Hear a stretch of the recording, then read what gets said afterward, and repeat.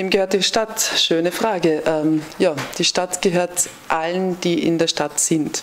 Und zwar unabhängig von, wie lange sie da schon sind, äh, ob sie Staatsbürgerschaften haben oder nicht. Wer in der Stadt ist, ist Stadtbürger oder Bürgerin und dem gehört sie auch als Teil.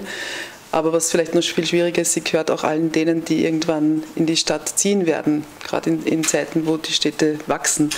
Von daher ist es gar nicht so leicht, sozusagen eine, eine Form von geteilter ähm, Teilhabe an der Stadt äh, sicherzustellen. Was auf jeden Fall nicht sein kann und darf, ist, dass in Zukunft die Stadt ähm, denen gehört, die jetzt schon investieren in PPP-Projekte, in quasi Privatisierungen von öffentlichem Raum.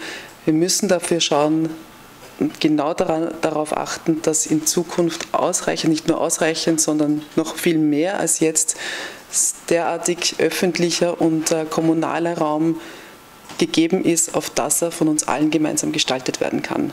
Und nicht von wenigen, die es leisten haben können, ihn zu kaufen und dann für uns so oder so gestalten. Also keine Neofeudalisierung des ähm, städtischen Raums, äh, kein Ausverkaufen von öffentlichem Raum, sondern ganz wichtig, ähm, wir müssen mehr noch, wir müssen städtischen Raum kommunalisieren.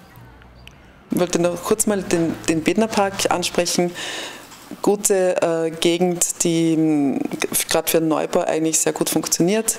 Was man dort sicherlich lernen kann, ist, ähm, dass man eigentlich Stadt noch viel mehr mischen kann, in, also in der Nutzung. Ich glaube überhaupt, dass wir dorthin kommen müssen, dass wir nicht mehr Wohngebiete, Gewerbegebiete oder Freizeiträume sozusagen so, wissen wir eh schon längst so explizit teilen müssen, sondern Stadt bauen, Stadträume bauen, ja, sodass wir wirklich zu einer äh, Form kommen, wo die Räume frei sind äh, in ihrer Nutzung, ob sie zum Wohnen sind, ob sie zum Arbeiten sind, ähm, ob sie ähm, einen Beitrag quasi zu einer Öffentlichkeit auf der Straße leisten.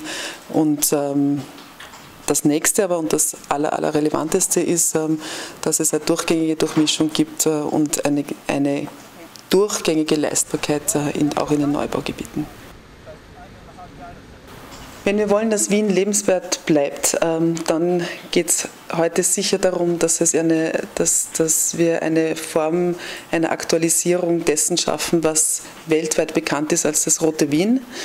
Und zwar ist das eine, also jetzt zurückblickend auf die 20er Jahre, frühen 30er Jahre, eine tatsächliche Umverteilungspolitik, eine gerechte Form von Raumaufteilung von Mitteln. Das heißt, wir brauchen entsprechende Steuerpolitik, wir brauchen entsprechende ähm, Bau- und Förderpolitik, vor allem eine Boden, aktive Bodenpolitik in dieser Stadt, weil letztlich die ganz, ganz große Frage, die im Raum steht, ist, ob Stadt und Stadtraum und vor allem Wohnraum leistbar bleibt und ähm, bis zu leistbar ist. Ja? Also sozusagen, es ist für äh, viele Teile der Gesellschaft heute schon schwierig und ähm, Jammern in Wien ist auf einem hohen Niveau, weil hier sozusagen noch sehr viel ähm, tatsächlich ähm, Wohnraum im Eigentum der Stadt ist, beziehungsweise äh, Genossenschafts- äh, und geförderter Wohnraum äh, vorhanden ist.